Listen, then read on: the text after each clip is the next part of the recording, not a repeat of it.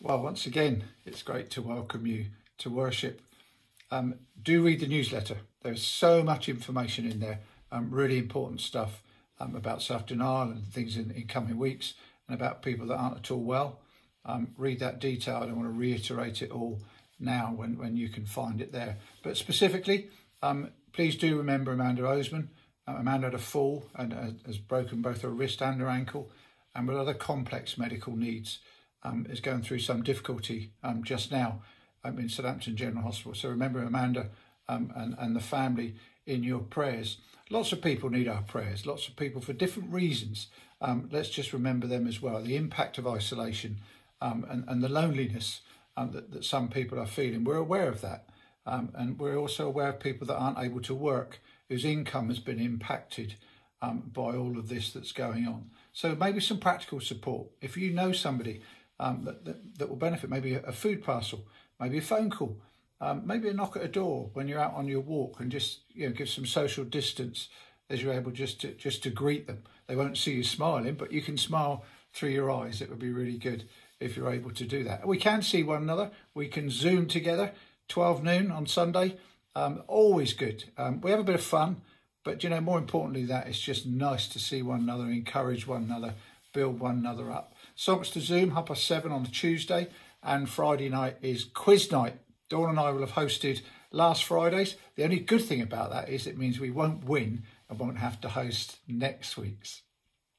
Next Sunday, um, 7th of February, 7th of February. Next Sunday will be the, the start of the launch of our self denial annual appeal. And throughout February, there'll be videos and other information um, to tell you what it's about. And then going into the 7th of March, that will soon be here, the 7th of March um, for our altar service. And you can consider through the month of February um, the impact of that and what it might mean for you. Hey, look, we're planning a party. When? Don't know, but we're planning a party. Worship and celebration when we return to worship.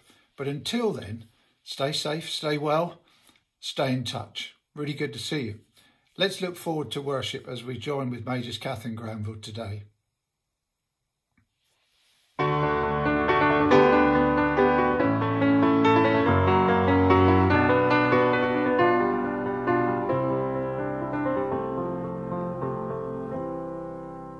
Morning has broken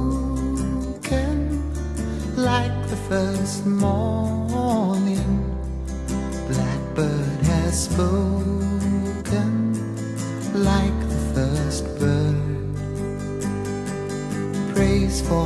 singing, praise for the morning, praise for them springing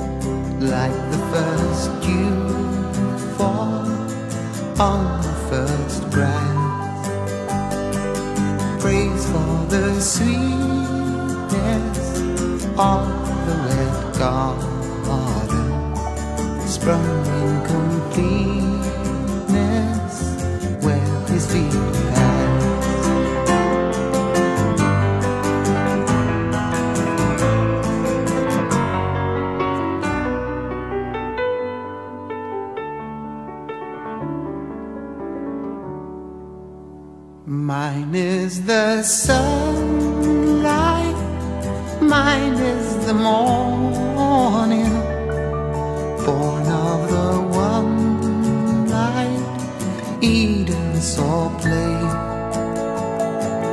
Praise with elation, praise every morning, God's recreation. All the new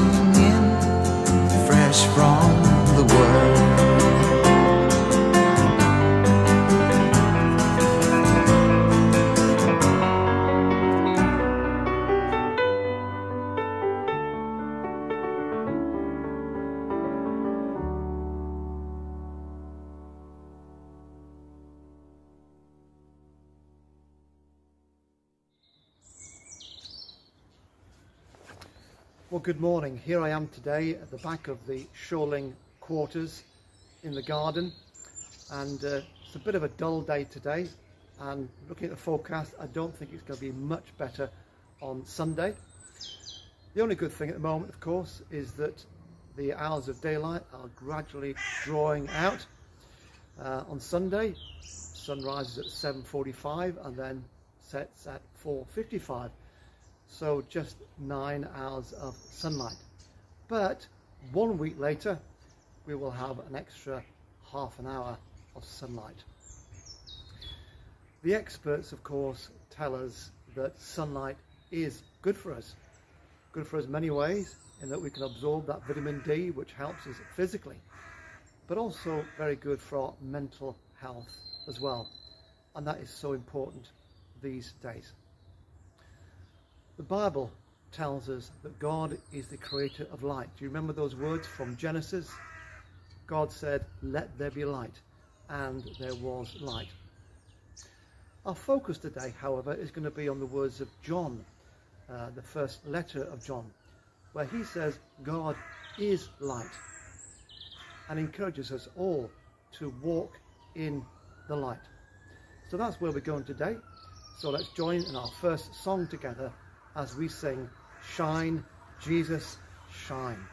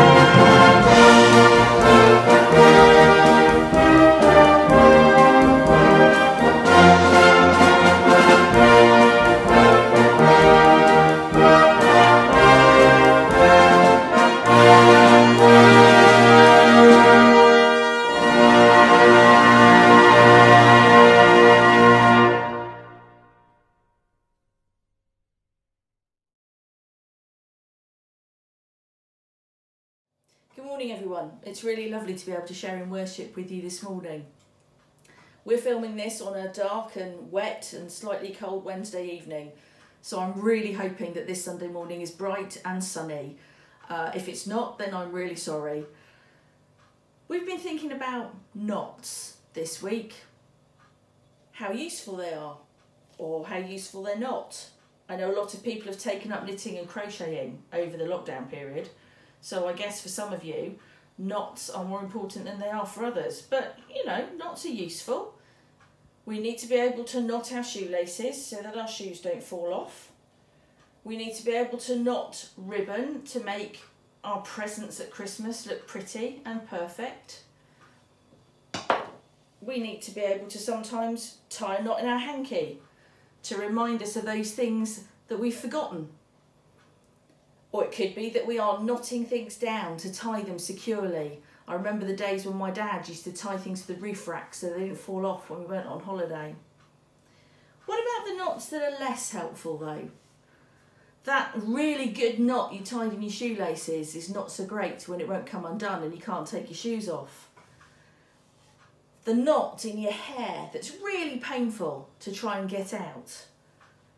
The knot in a chain, in a bracelet or a necklace that's so fiddly and takes so long to come undone. And then there are the knots that we get inside. The knots of worry, of anxiety and of stress the knots of lack of confidence, the feeling that you're not quite good enough, the fear of the future. What might tomorrow, next week, next month, next year bring? When will we ever come out of lockdown? What will happen? Do you have any of those worries? Well, if you do, wouldn't it be great if those knots could just disappear.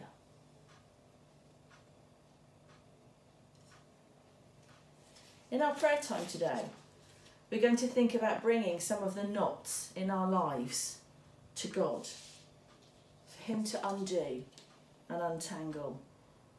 So, as we pray today, we're going to start off thinking about the cannots. What is it that you cannot do? that we feel we cannot do, that we're not able to do. Bring that now to God in prayer and ask Him for the strength and the courage to be able to do the things we feel we cannot do.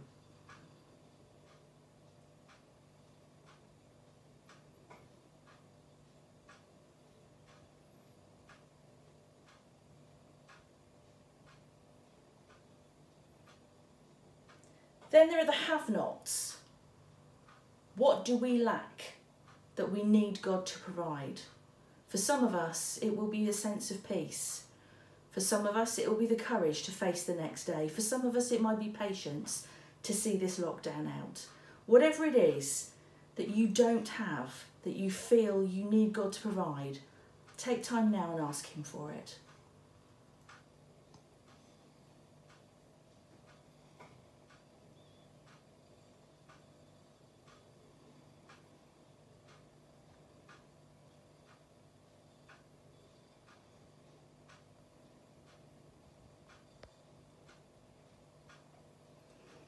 Then we have the might nots.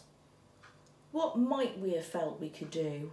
What might we have been able to be? What are the things that are getting in the way? If there are things that are stopping you from being what you could be or what you feel you should be, give those to God now in prayer.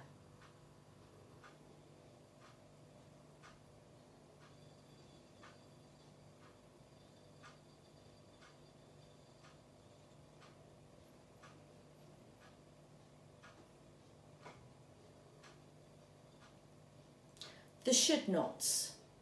Perhaps these are calling us into unfair judgment on others when we don't understand their situations fully. Let's ask God to forgive us those times we judge others and to bring peace into the lives of us and them.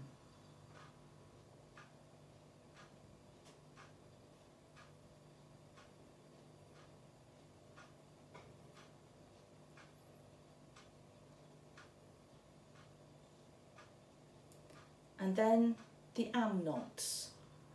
What do we feel that we are not, that we ought to be?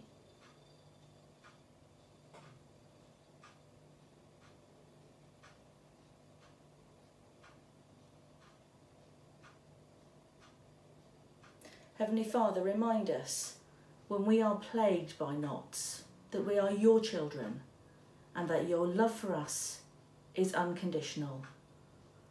Untie and release us from the knots in our hearts and lives that hold us back from being all we can be for you. Amen.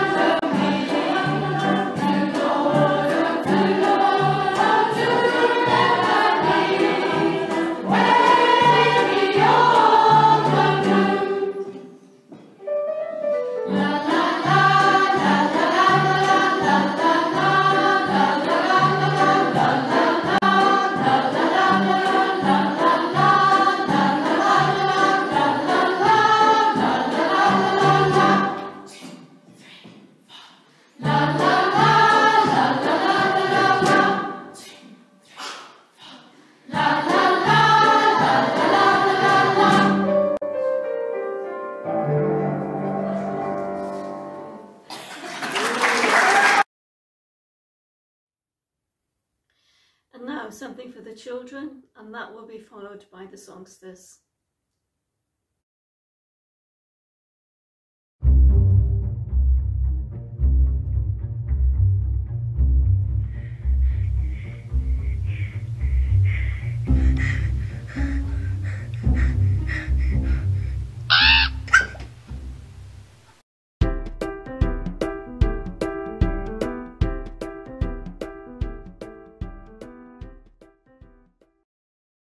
Kids, today we're going to talk about being in the light and being in the dark. Are any of you afraid of the dark? I am, just a little bit. Sometimes I wake up in the middle of the night and I have to use the bathroom. It's pitch black and I can't see a thing. Then, one day, it dawned on me. Why don't I use a nightlight? Now, whenever I have to get up in the middle of the night, it's a piece of cake. No more stub toes. Did you know that this idea works in our relationship with God too? The Bible says that God created light and that He is light. He helps us to see where we should go, which is to honor and follow Him. The world around us is pretty dark. A lot of people don't even care about God, and they aren't nice. So, we have to learn how to find our way through a dark, dark world. We need to use God's nightlight. The book of 1 John in the Bible talks a lot about this idea of light and dark. 1 John 1 5 and 6 says, God is light, and there is no darkness in him at all. Now, I don't know about you, but I've never seen God with my own eyes. So, how can I see his light? Well, he shows us his light through the Bible. So, the Bible is our nightlight. It helps us to see where to go. Psalm 119, 105 says, Your word is a lamp to guide my feet and a light from my path. God's words are in the Bible, and they show us where to go. Remember, God is light, and He shows us His light through the Bible. Got it? Uh, guys, lights, please? Good morning. Our Bible reading is taken from the first letter of John, chapter 1, and I'm starting to read at verse 1. That which was from the beginning, which we have heard, which we have seen with our eyes, which we have looked at, and our hands have touched, this we proclaim concerning the word of life. The life appeared, we have seen it and testify to it, and we proclaim to you the eternal life, which was with the Father and has appeared to us. We proclaim to you what we have seen and heard, so that you also may have fellowship with us. And our fellowship is with the Father and with his Son, Jesus Christ. We write this to make our joy complete. This is the message we have heard from him and declare to you. God is light. In him there is no darkness at all. If we claim to have fellowship with him, yet walk in darkness, we lie and do not live by the truth.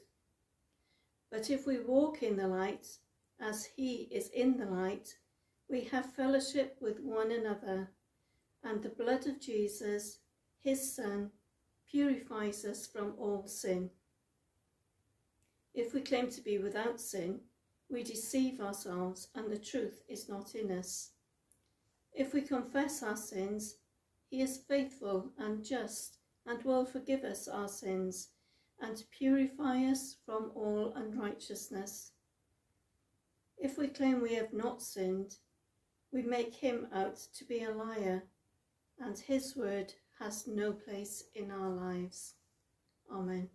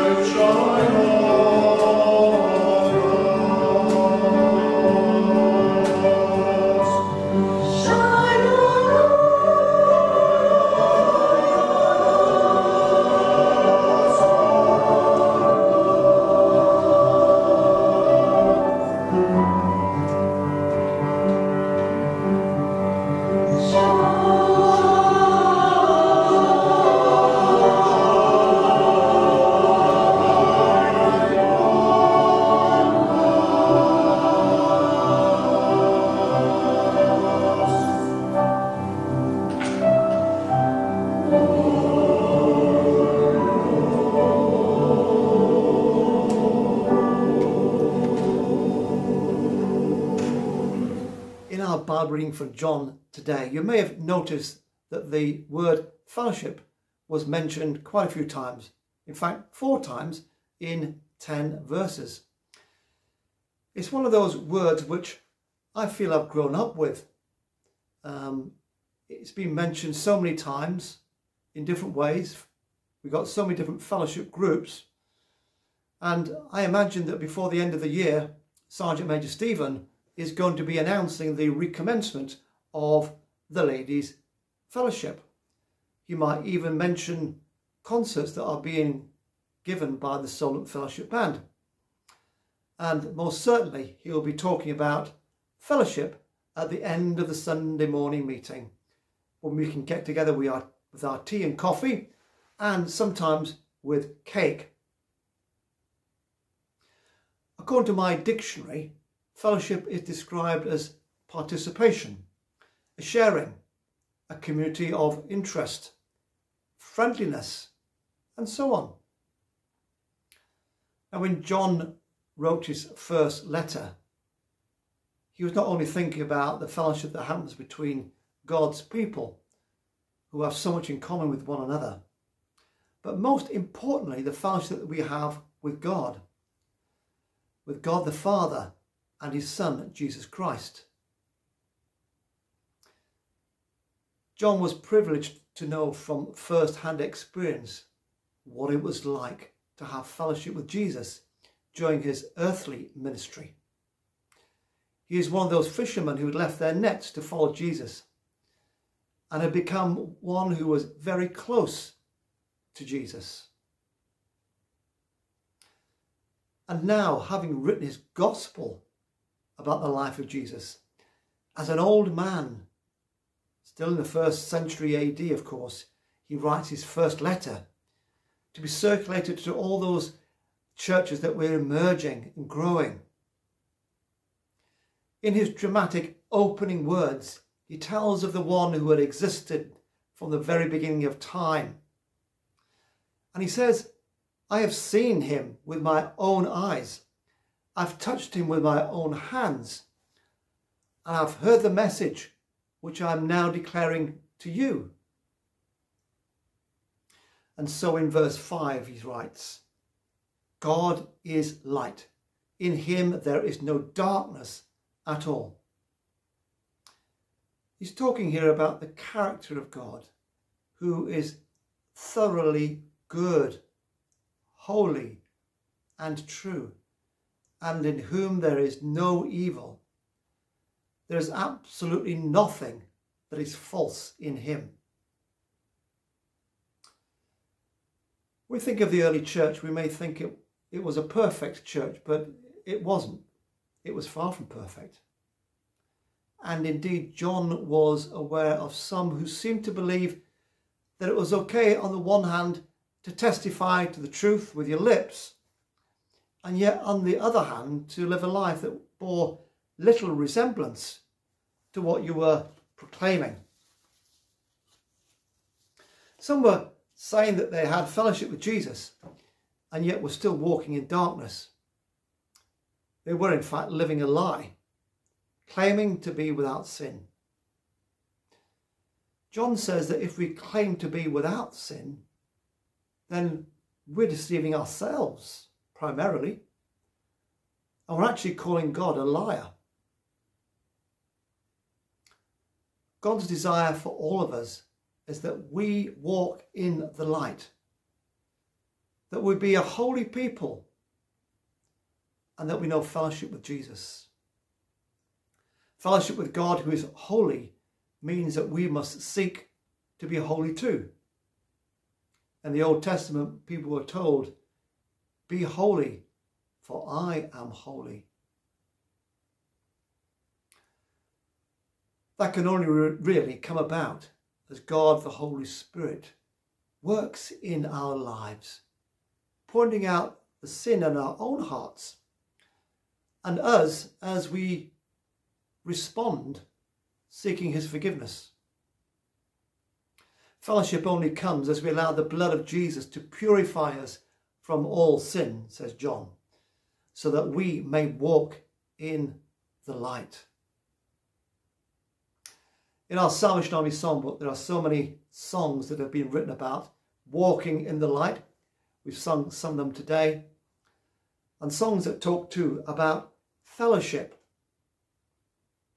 One of the ones that stands out for me is song 325, written by General Albert Orsborn, that great poet of the Salvation Army, that great giant of faith.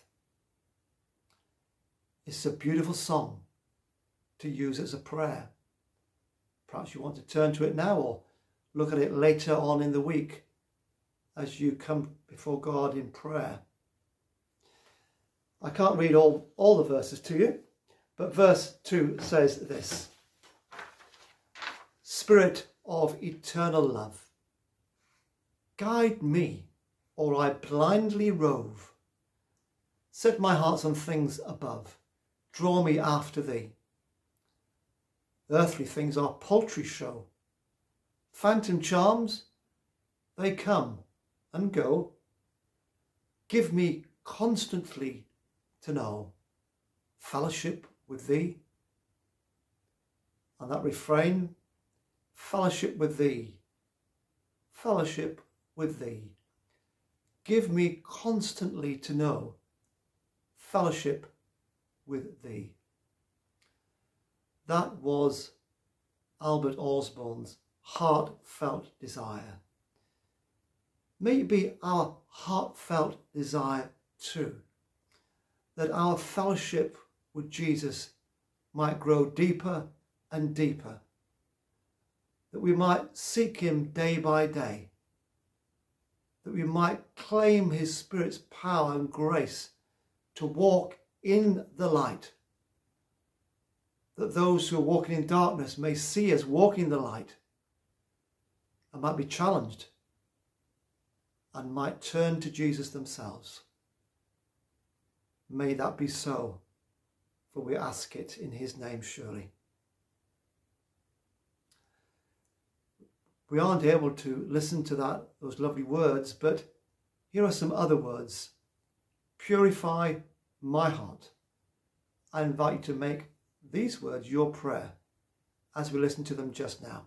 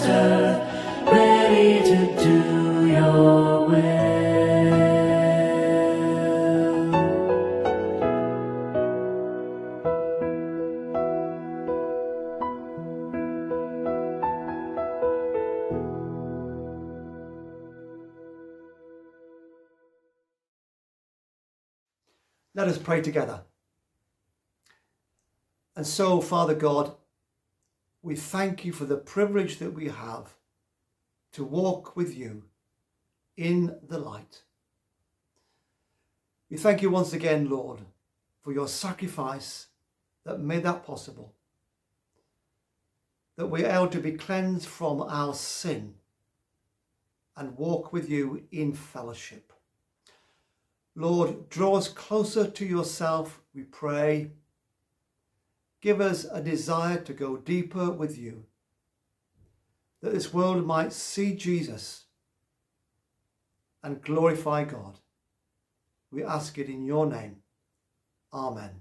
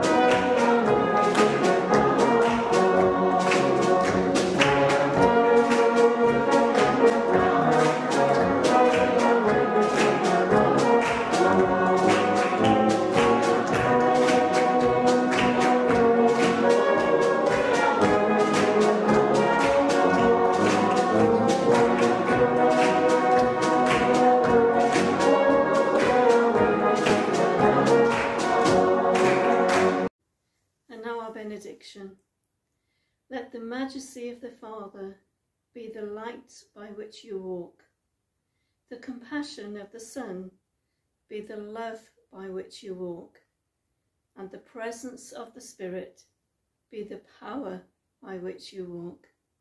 Amen. Good morning and God bless.